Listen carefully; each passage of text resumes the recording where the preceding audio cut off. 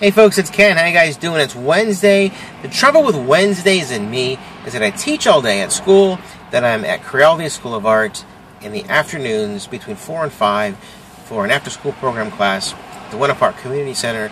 So by the time I get my stuff together and cleaned up from that class and back in my car, it's already late. I've made comments in the past. I'm not a big fan of whatever we're in. Is this daylight savings time or not? I don't I don't care for the fall back part. I'm looking forward to springing forward here super duper soon. Hopefully, I'm not sure when that happens, but I'm looking forward to that because I don't like the late, the, the darkness here earlier, earlier on. It just gets harder and harder to get anything done. So that's why I'm in my car because if I wait until I get home to do a video, it's going to be pitch black out there, and that's no fun. So I'm here in my car. I have the light from the car behind me in front of me to kind of illuminate my little space here. But I wanted to share something kind of fun with you today. Um, a bunch of us at school, my team, we pulled our money together and we uh, bought some tickets for that gigantic mega billion, $1.5 billion jackpot. And I re- realized something quickly. If I won that money, oh, I'm waiting for the light to ring. If we won that money, and I was at a pretty good place where I could retire, not work anymore, I think I might work continue working, but I would hire a limousine. Or, you know what, better yet, I would build a roller coaster from my house to my classroom. That would be a cool way to travel to work. What do you guys think? Hang on, I'll be right back. Alright, so almost home. I kind of forgot where, where I was. I was at that red light getting ready to turn onto um, the main road here in Oviedo.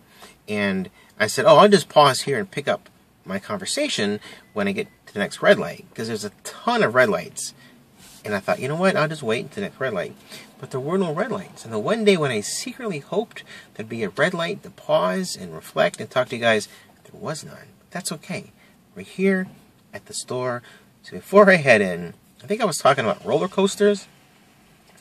I'm think I'm thinking right away I wouldn't I wouldn't quit. If I won all that money, I wouldn't quit right away. Especially right in the middle of the school year. I would continue going, but I hate I don't use the word hate very often. I hate driving. I don't like that car, that car. I don't like that car, that car. And I'm not very fond of the drivers in those cars at times. So I think to alleviate that stress in my life, I would find a fun, alternative way. The People Mover at the Magic Kingdom. What a wonderful invention. I would build a People Mover to drive me, to people, people me, people, to move me. I got flustered there. To move me and my people to school and back each and every day. Or, like I said, a roller coaster Imagine sitting. If you've ever ridden the rock and roller coaster at a Hollywood Studios, imagine sitting peacefully in your front yard and then rocketing off into the distance. That'd be a fun way. A helicopter would be great. Pick me up, take me to work.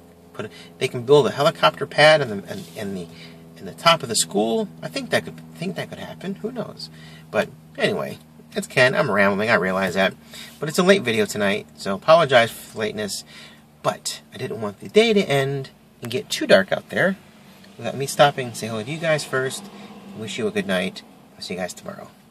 Okie dokie. So what would you do if you won all that money? Would you quit? Have fun with it? What would you do? Just curious. Leave some comments. Share. Because after all, sharing is caring. See you guys tomorrow. Bye.